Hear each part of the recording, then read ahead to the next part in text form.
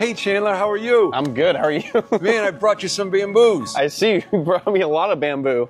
I know, man. Are we gonna try and fit all this in the king it's cobra enclosure? man. It's up to you, man. I Uh, just figure I made all the way down here. Go big or go home. Yeah, I say screw it. Let's just put all this bamboo in there and make it like a jungle. Well, you do. You know, you got to keep it safe. Yeah, yeah. We could line up the walls maybe and just do a little pathway in the middle where I could walk through with a giant king cobra. But I'll show. I'll show you how these bamboos work. What kind of bamboo are they? This is this is gracilis. This is this is the most popular bamboo in Florida. It's the one they plant the most. It's very fast growing. It can be full sun. It can be shade. This is gracilis. This one right here is Asian lemon, I think. Yeah. how, big, how big does the Asian lemon get? They, again, they'll get big, but see, once you cut it, once you cut it, it won't grow any taller. What about this one? How tall What? does this one get? Tall, but once you cut it, it won't get it won't get any Huge. taller. The biggest ones around. No, but it won't get any. See, see this? So they pruned it here. I see, You yeah. see, they prune it here, and then once they prune it, it may get a foot, and that's it. Oh, that's perfect. It'll get bushy at the top. Yes, yes, and then then if you want any more height, you gotta wait for a new cane from the bottom. All right, so I say uh, we go get the king cobra out of the enclosure so we can safely plant it, make it look pretty. Uh, we got to go wake her up though. I'm sure she's not going to like that. So you guys want to come Okay. spot me and make sure I don't die?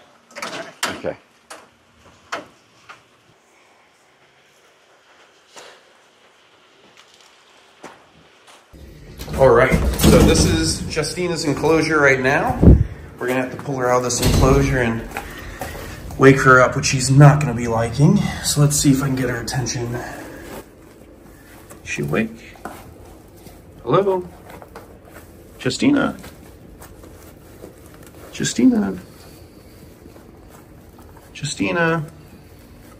You in there? Here we go. Whoa! Come on, Justina.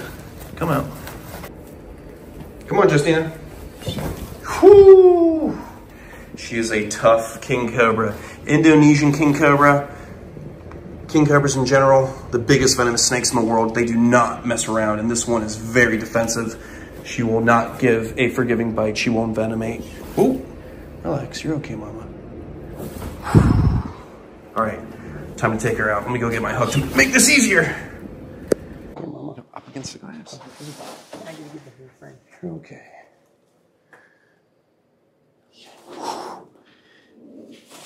Okay.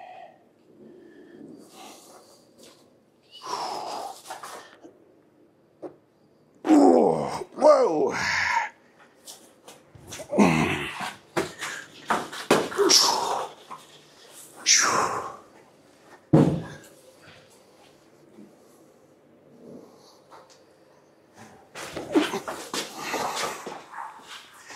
You know, I try to use snake hooks, but with a king cobra, it's really hard. They're just too big. Woo. All right. Nice and easy.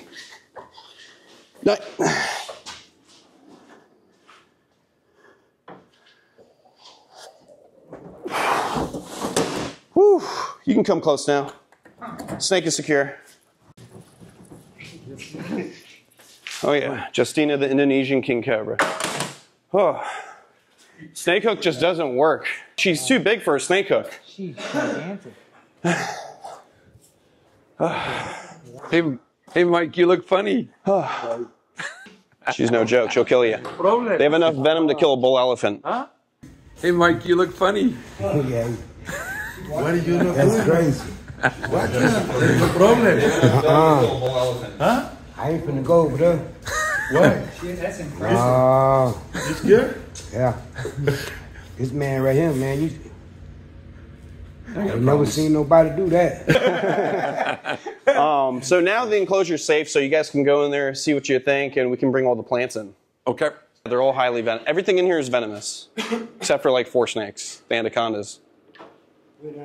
So this is Justina's enclosure. I feel kind of funny being in here. We're going to beautify snakes out right now. We're going to beautify this today. I got 14 beautiful pots of bamboo. Okay, put the put them here. One, two, three, four. One, two. There you go.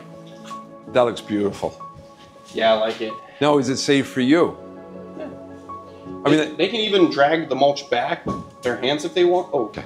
uh, but if they pull the mulch back, it can be on the bottom of the cage, and they can like push the mulch up.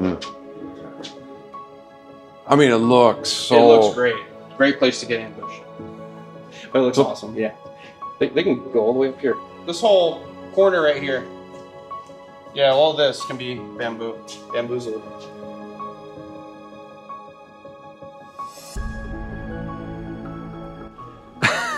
no. I, I won't get too close, Mom. No, careful. But you run too slow. Yeah, careful. For his name, maybe can I hit you? There we go, Justina. All right, I'm taking out the pin. Just back up a little bit. Pull a lot. Yep. Hey, Mama. I got my trusty big king cobra hook, but she does not like being hooked at all. She doesn't like the touch of the metal. She doesn't like any of that. So sometimes I have to take the liberty of free handling her, but it's super dangerous because she is a biter. And she doesn't mess around. Let's hope uh, we do this quick.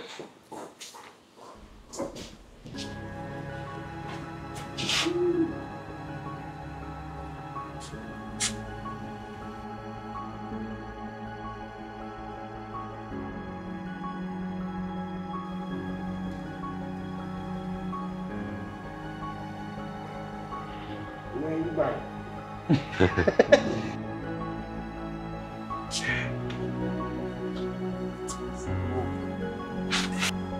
All right, you see, look at this. It's happy. For I already put the trees and the bamboos for the house, the cobra. She looks a little opaque, so that just tells me that she's probably going to shed soon. The scales on her belly and hood look a little bit dull. Usually they're much brighter yellow.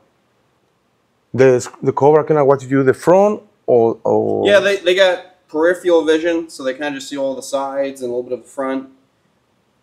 Yeah. For the UCs, I put a lot of attention only in the front. When you move or something like that, just move it. Here. Yeah, so like a viper, like a rattlesnake, has heat-seeking pits Yeah. that sees the warm body, the thermal image. Mhm. These guys don't have heat-seeking pits. They just focus on movement with their eyes. Wow. So that's how I get the animal to look at me I make a little bit of movement. how many she's how many years now? This snake is probably like 10 years old or maybe older. Yeah. I've known her since I was 17 years old, and she was like seven feet long. And now she's like 12 foot, and I'm almost 27. You want to touch him, my mind? Why? Well, it looks pretty good. Yeah, it looks amazing. It really greened up the place, and since all the old bamboo I had before I got bit by that Indian cobra died, it's nice to finally fill this cage back up because now this place looks beautiful. Look at it. Now she can crawl all behind it. She can enjoy the foliage, new senses of smells and taste in the air, so it's like enrichment for the snake. And overall, just better for the mental health of the animal. More places to hide and feel secluded. Because, you know, lots of snakes out in the wild, they just want to hide out in dens. These guys are very active. They do need space, but they do like to find a nice log to hide out in and let the time pass by, especially on a rainy day like today when they can sense the vibrations from the rain. Well, I'm glad I could come down and help. Thank you so much. Thank you. Hey, before you go, I'm going to feed some of my tropical fish.